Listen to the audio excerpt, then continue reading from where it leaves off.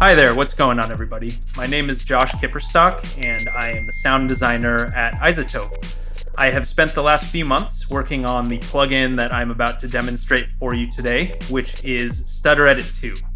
Stutter Edit 2 is the latest collaboration between iZotope and electronic music pioneer BT.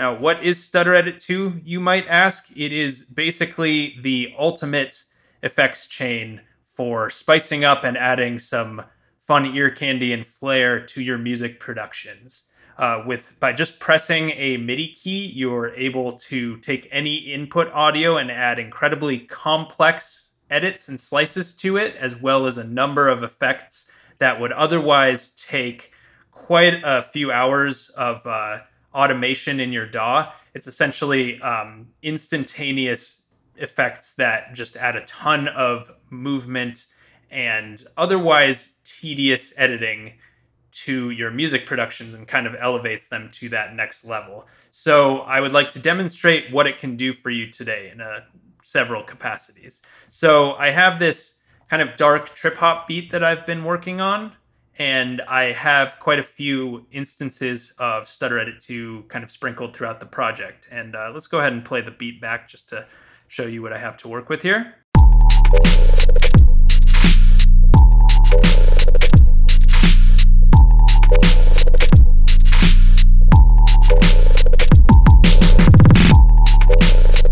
So I'm not sure if you noticed, but the very last bar of that, um, you may have noticed that some stuff was happening in the UI for Stutter Edit 2. Now let's play that back again.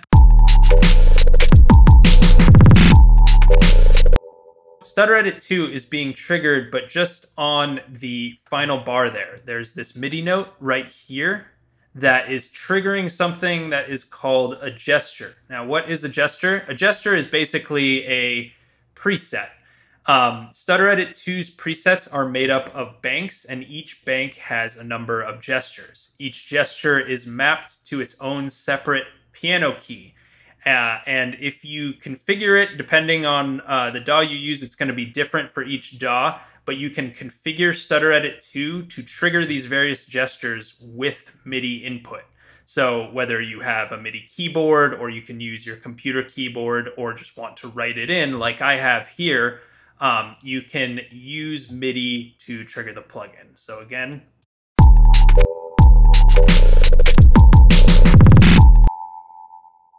depending on what note it is, it, it informs which gesture uh, it plays back. So if I move that MIDI note up one, it's going to trigger the stepwise gesture just above it in the preset menu here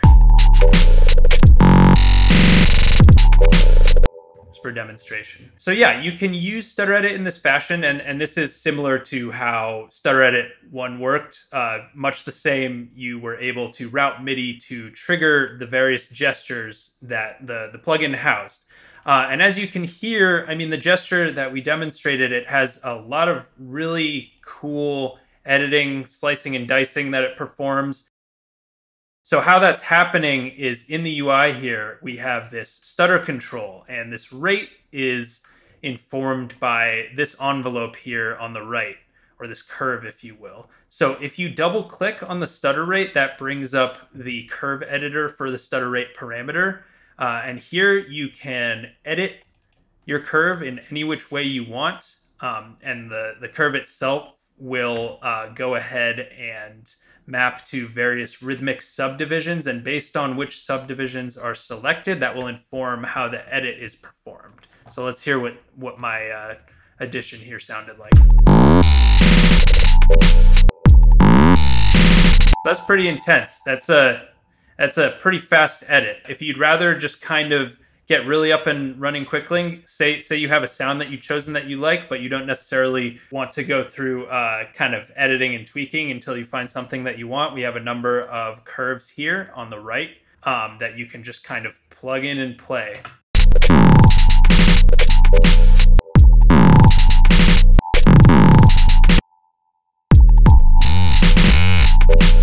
Possibilities really are endless, and this uh, ability to kind of manipulate the curve of the stutter rate parameter, this applies to pretty much every single parameter in the plugin. So we have a, a gate parameter here. You can open that up and add a curve, and then you're off to the races.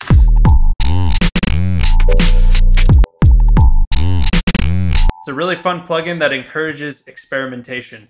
Um, but really, the possibilities are endless, and there are a number of banks here. We have this uh, trap beats bank. Let's let's see what that triggers with this note.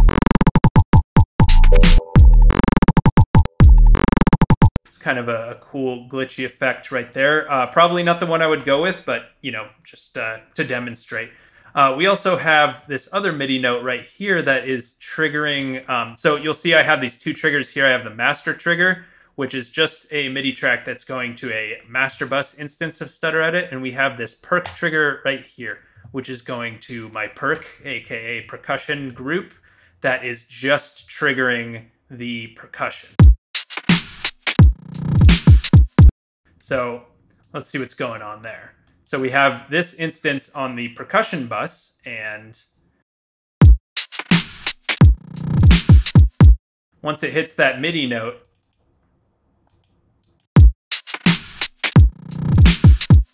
stutter edit begins and you're off. So you can basically use this in this fashion to any degree in your productions. And, you know, in addition, something that's new that I really, really love about Stutter Edit 2, whereas with Stutter Edit 1, um, you were able to trigger it with MIDI, as I've just demonstrated, but in Stutter Edit 2, you can use it also as kind of a more standard audio effect, thanks to a new mode called Auto Mode, and I'll show... Uh, I have a few instances of auto mode in this project, and I'll show you kind of uh, what it's doing here. So I have this kind of ring mod lead sound and I'll show you kind of what it sounds like without stutter edit first.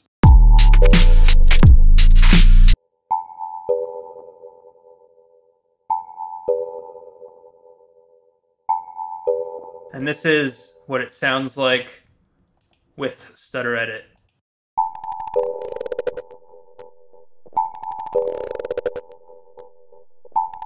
So there's no MIDI triggering this particular instance of stutter edit, and that's because it is in auto mode. If you'll see at the top of the UI here, it says play mode auto.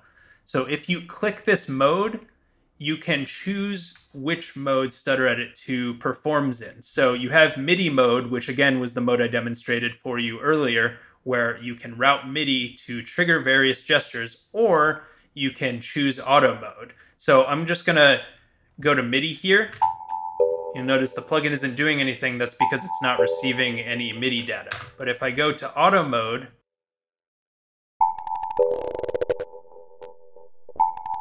it'll just go ahead and play back the gesture you've chosen uh, without any MIDI input required. So this one, this is just uh, one that one that I uh, made. I, I think I kind of worked off one of the default initialized presets a little bit of distortion going on. We have the stutter and uh, buffer controls going, a little bit of wet gain level writing throughout.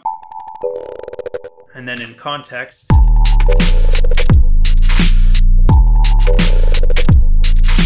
So auto mode is fantastic for if you really just kind of want to dial in on a sound instead of do something a little more spontaneous and performative. So if you're actually working on a sound from scratch, auto mode is great. You can use it to audition sounds you like. Or if in this case, if you just like the way one particular gesture uh, affects one track, you can just put it in auto mode, set it and forget it, like so. Auto mode is also being put to effect here on the sub track. You might want to use headphones for this. If you're on a laptop speaker, you might not hear it as well. Okay, so stutter edit is on in that case. I'm going to turn it off first. If you can hear it, you basically just have a sine wave, just a basic low sine wave. So I've gone ahead and gone into Stutter Edit 2, gone into the bass music synths bank, which can be found in the bass beats and instruments folder of the factory preset library. I took this gesture that I really like, low harmonic subchain, and I modified it and turned it into this, which is low harmonic subchain with tape stop. Very creative name, I know. So what I did was I took that uh, low harmonic subchain gesture and I added tape stop, which is one of my favorite new effects in the plugin. Uh, it sort of simulates a vinyl tape stop, similar to what you might find in our plugin vinyl. Without tape stop, you got kind of this meaty 808 style sub sound, but if you add tape stop, it adds some pitch movement to it that I personally really like.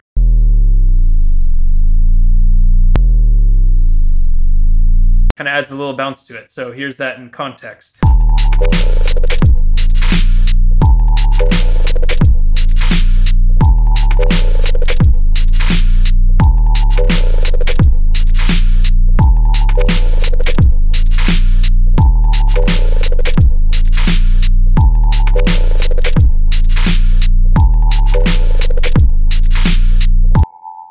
Great. So now let's turn back the MIDI triggers that I demonstrated earlier and let's hear everything in the complete context.